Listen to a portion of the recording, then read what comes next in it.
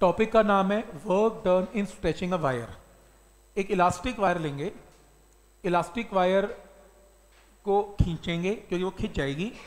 तो ऐसा करने में मुझे क्या करना पड़ेगा? वर्क डन वो जो वर्क डन है, कितना करना पड़ेगा? ये एक्सप्रेशन मुझे निकालना है। या फिर, जब मैं उससे इलास्टिक वायर को खींचूँगा वर्क डन करूँगा तो एनर्जी स्टोर हो जाएगी उस इलास्टिक वायर में in the form of potential energy तो मुझे एक्सप्रेशन निकालना है किसका? पोटेंशियल एनर्जी का। तो पोटेंशियल एनर्जी का एक्सप्रेशन निकालना है, या work done in stretching a wire निकालना है।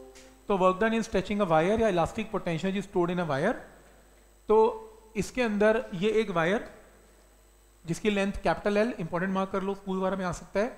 लेंथ कैपिटल एल आपने इसमें फोर्स लगाई, और ये वायर कितनी बड़ी हो गई? स्मॉल एल लंबी हो गई। Small L is increase in length अब ये बताओ, क्योंकि वायर इलास्टिक है और अगर इलास्टिक है तो इसका क्या होगा? यंग्स मॉडुलस होगा। क्योंकि इलास्टिक वायर का यंग्स मॉडुलस होता है। तो यंग्स मॉडुलस क्या होगा? Y force by area delta L की जगह क्या पुट करेंगे? Small L divided by original length is capital L तो ये रीअरेंज करके ये आंसर आ जाएगा वाई का। क्रॉस मल्टीप्लाई करके फोर्स की वैल्यू ये आ जाएगी। और वाई यंग्स मॉडुलस किसी भी मटेरियल का उस मटेरियल पर डिपेंड करता है और क्वेश्चन में गिवन होता है हमेशा। जैसे कॉपर का कुछ और है सिल्वर का कुछ और है, ये लेंथ पे डिपेंडेंट नहीं है वाई हमेशा कांस्टेंट रहता है किसी भी गिवन मटेरियल के लिए। तो वाई की वैल्यू अगर मुझे वर्क डन निकालना है तो मैं फोर्स क्या लगाऊँगा? ये फोर्स यूज़ करूँगा। तो अगर कोई वायर का वाई ज़्यादा है तो मुझे फोर्स भी ज़्यादा अप्लाई करनी पड़ेगी और वाई कम है तो मुझे फोर्स कम अप्लाई करनी पड़ेगी। क्लियर है यहाँ तक? तो ये मैं फोर्स अप्लाई करूँगा। अब एक पॉइंट मुझे बताओ, जब मैं ये फोर्स अप्लाई करूँगा तो स्मॉल एल इंक्रीज होगा? स्मॉल एल मुझे लेंथ ऑफ़ द वायर करना है। अब स्मॉल एल मान लो 10 सेंटीमीटर है तो एकदम थोड़ा ना 10 हो गया। एक, दो, तीन, चार, पाँच छः सात, आठ, नौ, दस धीरे धीरे हुआ होगा।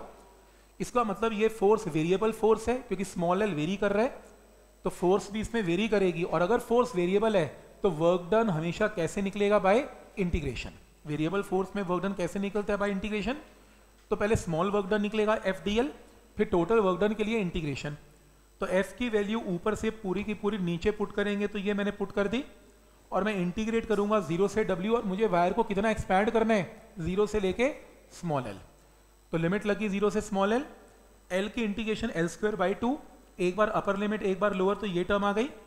इस एल स्क्वायर को दो बार लिखा small L into small L अब ये जो टर्म देख रहे हो Y A small L by capital L Y A small L by capital ये क्या है?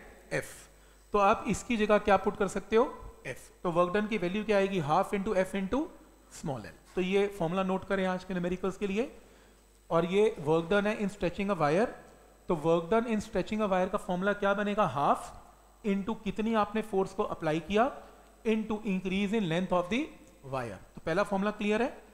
और यही स्टोर हो जाएगी बॉडी में in the form of potential energy तो पहला एक्सप्रेशन क्लियर है। एक्सप्रेशन फॉर पोटेंशियल एनर्जी या work done in stretching a wire इसी में, ये work done in stretching a wire है, एक काम करें, दोनों साइड्स को वॉल्यूम ऑफ़ वायर से डिवाइड कर दें। अब वॉल्यूम ऑफ़ वायर होता क्या है? ये वॉल्यूम ऑफ़ वायर है, ये ए है और ये एल है। तो वॉल्यूम क्या है? एरिया इनटू लेंथ तो ये देखो, क्या वॉल्यूम में, ये मैंने वॉल्यूम फोर्स वॉल्यूम को क्या पुट किया? एरिया इनटू लेंथ तो फोर्स बाय एरिया क्या है? स्ट्रेस और small L by capital L क्या है? स्ट्रेन तो फॉर्मूला नोट करें नेक्स्ट ये फॉर्मूला वर्क डन का नहीं है. ये फॉर्मूला किसका है? Work done in stretching a work done per unit volume in stretching a wire तो पहला फॉर्मूला वर्क डन का formula half into F into L half into F into L और work done per unit volume का formula half into stress into strain तो क्या ये point clear है यहाँ तक?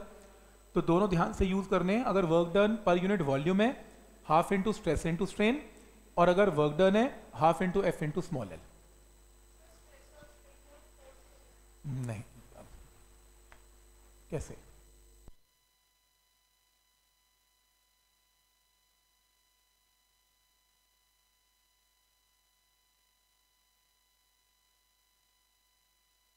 तो ये पहला formula work done in stretching a wire अब work done per unit volume को कभी कभी नाम देते हैं. छोटा यू छोटा यू का मतलब लिख लो energy density energy density energy density का मतलब होता है work done per unit volume energy density का मतलब work done per unit volume clear है यहाँ तक?